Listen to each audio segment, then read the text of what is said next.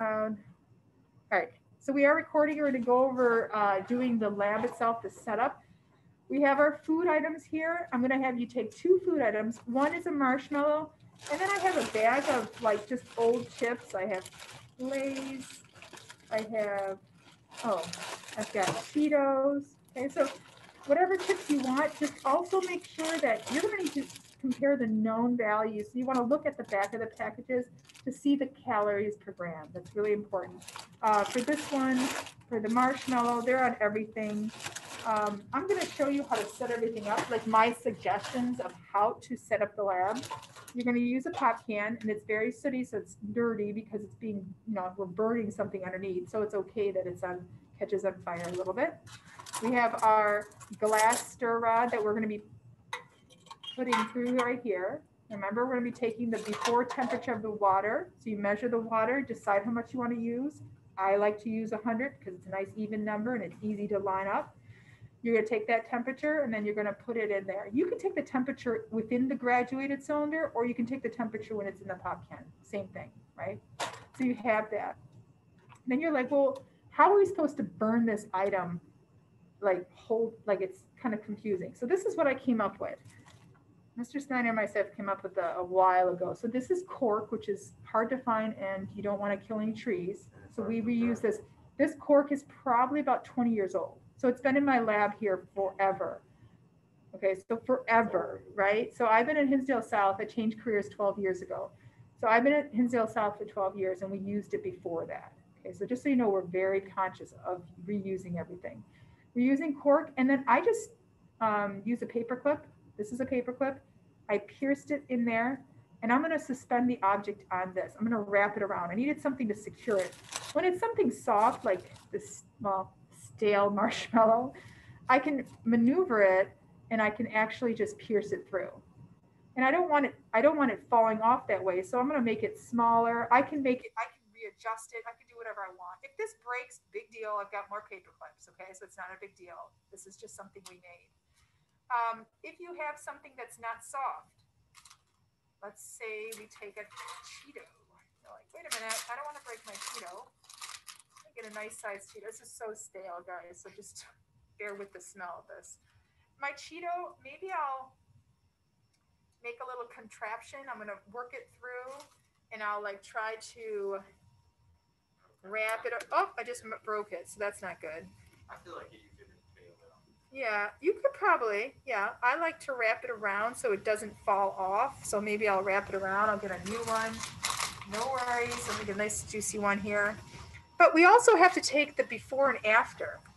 So, you know, you got to, I just cut food on my mask. So we need to make sure that we take the, the, take this to the balance. I would actually suggest to take this to the balance, measure it before, take the device that you're going to set it up and measure it before as well problem is, is that let's say I have it all set up. This is for teaching purposes. I'm not doing the best of job here, but there we go. Wrapping it around, getting my hands nice and dirty, and I'm trying to make sure it's not going to fall off when I'm burning it. Um, what I found is that what happens if this guy falls off and keeps burning? I want to make sure it's not on the tabletop, and even though this is uh, flame resistant tabletop, I just want to keep make sure I don't have to redo the whole lab. So I'm going to use a glass watch plate and I'm going to put it over like that. So that way, if you have this and you're trying to burn it, if anything, if the ashes fall out, it's still going to be right there. And then you're like, well, matches get a little tricky because I'd have to sit here with the matches. So I found these in the back. And so we're going to use the nice little torch and all you do is light it up. So there's three working ones. There's four working ones here. This one has a safety. That one doesn't. You just press it and then there you go. And then I was holding it for a while to, so it catches a nice flame. So you want to make sure you hold it for a while because you want to catch the whole thing on fire. This one's a little bit trickier to catch on fire. The marshmallow, you know, yes. goes really well. Exactly. This one you have to kind of go at all angles. Meanwhile, though, you got to remember. Sorry, I'm walking back and forth the lab. You have it all set up you have it set up on this ring stand. So you have this here. You have your food item under here. You may have to adjust it. You may have to adjust it. You don't want it super high up off of the food. You want to try to get it underneath that curved area as much as possible. So without touching it, let's get it right there. That way when it catches on fire, we're getting less heat escaping. That's the idea. Heat is still going to escape here, but we're getting less of it escaping. The thermometer, when you when you do the after temperature, you're going to have to put the thermometer in as soon as you see the flames are a little bit less, hold it there. You want to make sure you get that final temperature before it starts dropping back down to room temperature. Like get the maximum. So if it's still going up, let it keep going. But as soon as you start seeing it go back down, get that final temperature to be as most as accurate as possible. All right, so when we do the measurements after, all right, so maybe there was a suggestion that I could have made in the beginning. Since we're using these, we should be taking maybe the mass of the glass with the cork, right? Maybe the glass, and that way we can subtract it all, trying to find it after. When we're done, we're gonna take the mass of this, and then we can do some subtraction intent to get just the mass that we burned. Okay, so that'll be the, the in our calculations then. Okay, so as you see your hands get dirty, you just use your um, apron. We have soap and water. I'm gonna pause this video just quickly here. resume recording. Okay, so I'm recording this again. So we're gonna actually perform the lab. I'm gonna have my setup. So I have my ring stand. I've suspended the pop can like this. I'm gonna suspend it in here. But before I do so, I'm gonna pour, use my graduated cylinder. I'm gonna measure 100 just because I like to use an even number. So I'm gonna measure 100 milliliters, which is the same thing equivalent to 100 grams. I'll make sure I get my measurements here. A little too much. A little too much. All right, we're perfect. So we're at 100 milliliters, which is the same equivalence to 100 grams.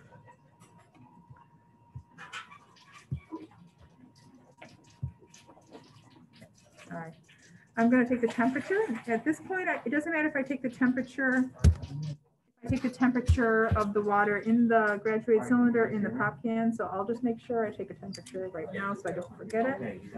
Room temperature is 24 to 25 degrees. So it's very common to be around 24, 25.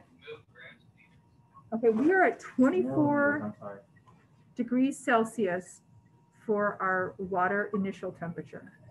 Okay, so at this point, I'll pour that into my pop can. Let me take away the the marshmallow.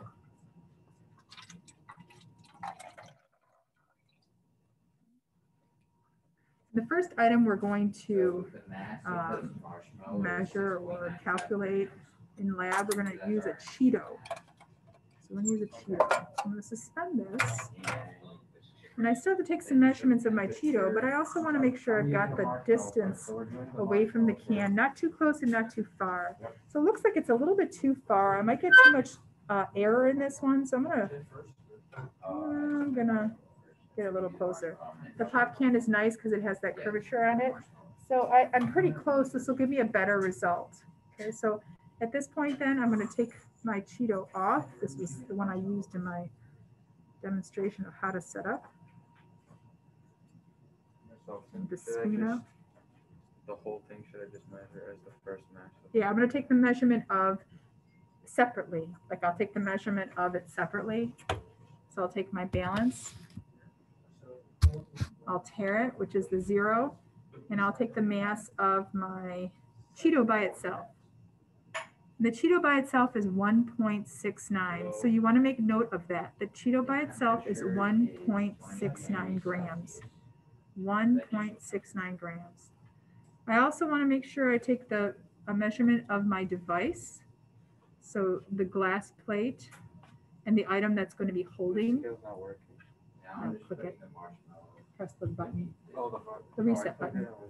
So the glass plate and my device that's holding it is 65.81 grams. Again, it's 65.81 grams.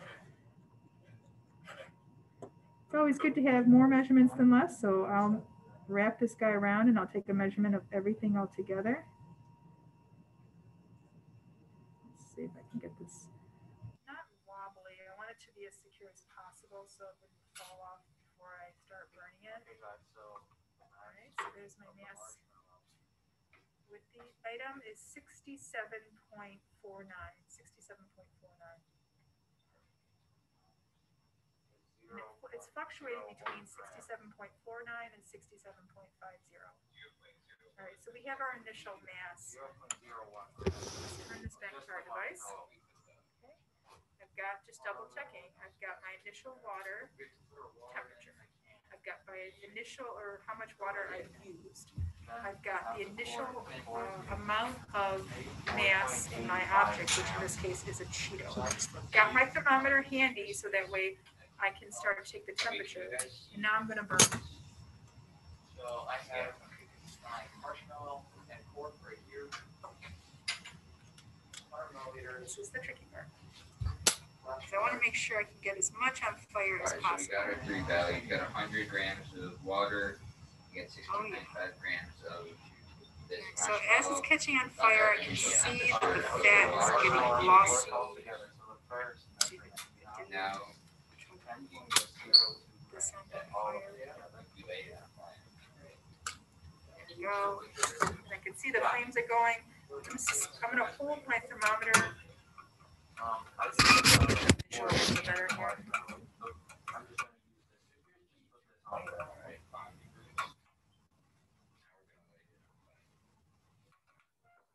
Now we're gonna lay it on fire. Cord, video cord here. I'm sorry. Wait, do these measure up? Wait, I'm getting.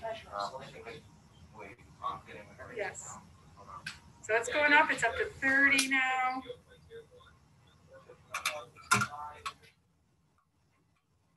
Thirty-two. The object's still burning. I don't wanna get the cork on fire. Yes. Sorry. Looks like the cork is catching on fire a little bit. The full thing, right here. I'll turn it around. The object is still burning. All right, so the whole thing, sixty-one point thirteen grams.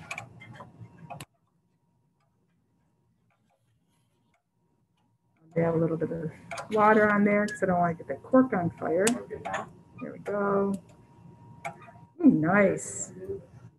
Okay, so now if you notice, the cork is more on fire than the object. So I'll pull that away and douse that in, in water a little bit. Because I just wanted to get a final temperature. Wow, we did awesome. 54 degrees. 50 to 4 degrees is the final temperature. So if you notice, I wanted to make sure I wasn't catching the cork on fire, and now the temperature is dropping. So I am at 54, that was the maximum. It's starting to go Okay. down little by little. I got I it. wanted to make sure that I only got the object. That's why I put a little bit of water on that water in for- cork. Yes, our final temperature is 54 degrees Celsius. So then I'm gonna go over here, take the mass after. Mass after is 66.36. 66.36 is my final mass, 66.36. So our final- All right, I'm going to actually put you on pause again, resume recording. Okay, so now we're recording the second portion of the Now that you lab. got all your data, I'll do the same you know how to exact measurements. Let me measure out 100 milliliters of water. Okay. Now we take it up and put it on so, but I could be. The final mass of I'm measuring the 100 mils in the graduated cylinder. I, I just said the final mass of the whole thing was sixty point thirty-three grams. You got that? All right, so I have the uh, Okay. 100 milliliters of water that I'm using, so 100 grams is the equivalence. I'll take the temperature of that initial, initial temperature of that water. Again, it should read between 24 and 25, just because that's room temperature. And tap water is about that. It is 24 degrees Celsius, so you can make note of that in your uh, comp book, the 24 degrees Celsius for the second lab of marshmallow, we're gonna use a marshmallow, is also 24 degrees Celsius. So I'm gonna put that in my pot pan. Carefully, there we go. I'm gonna suspend it, so I'm gonna pierce the can and suspend it. So now I've got my device. Then I'll take the, I'll take the device only and take the measurements of that. The device only with the cork uh, and the glass plate is 66.01. My 66.01 for the device only. My marshmallow is five point five three grams. So your marshmallow is five point five three grams, five point five three grams. This time I'm gonna pierce it because it is a marshmallow, as stale as it is. I wanna see if I can get it to stay on.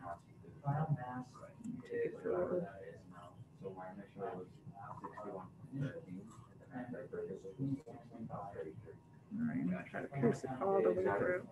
Let's just make sure, let's just double check and make sure I got a, a total mass of that. Seventy-one point five three is my total mass with the marshmallow and my device. Seventy-one point five three. Seventy-one point five three grams. All right, so I'm gonna take that, make sure I have water on the side, just for Um, precautions. so yeah, we could- I have my thermometer ready to take my final temperature. I'm gonna measure, oh, it looks too, too low, so I'll, oh, I'll turn up my calorimeter device and lower it a little bit. Let's see. You got that? Yeah, the actual glass plate. All right, so I'm gonna take it and light the marshmallow. This one shouldn't, sugar lights pretty quickly, so. Oh, I beg to differ. I guess the stale marshmallow doesn't want to catch on fire. There we go. And I'm gonna put my thermometer in there and hold it so it's not all the way at the bottom. I'm holding it in there just to get the final temperature. I'm gonna watch it go up, the temperature.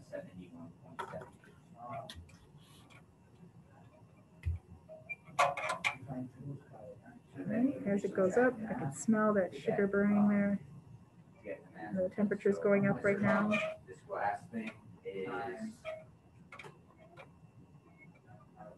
Move it closer to the so calorimeter device.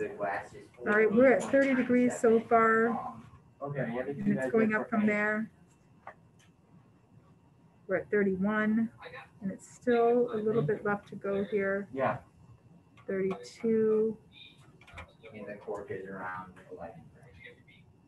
Yeah, I'm working on that right now. thirty-two, I wanna make sure it's, if it's dropping, then I know it's my final.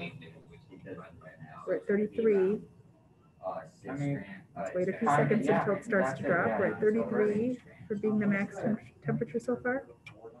All right, thirty-three, so we're- it's already starting to drop, so now I'm gonna take that as a max temperature, thirty-three degrees Celsius is the max temperature for my marshmallow.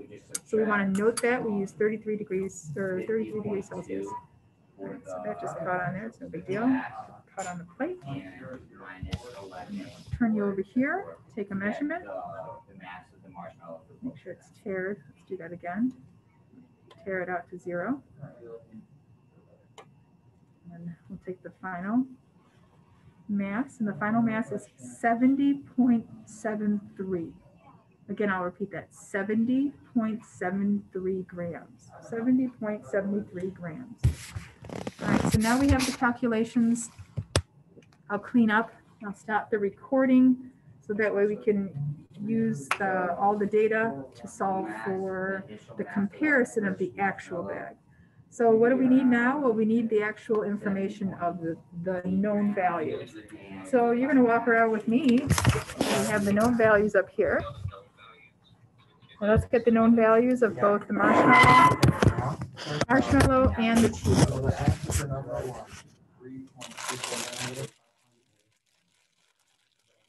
Marshmallow. So the known value for the marshmallows, right here on the top, it says your serving size is four pieces or twenty-nine grams. And it's hundred calories per twenty-nine grams. Hundred calories per the four pieces or twenty-nine grams.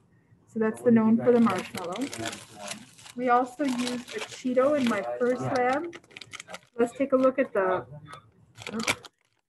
the known value for oh. this. The known value is hundred and fifty calories for 28 grams. The 28 grams represents 21 pieces. So we've got 150 calories per 28 grams, which are 21 pieces. This is the nutritional value. So when we're asked to solve for our percent error, we have an ex- experimental that we did in lab that we calculated. We're gonna have the known values that we're gonna calculate from the two right there. All right, so I'm gonna stop recording now so you guys can get together and work on your labs.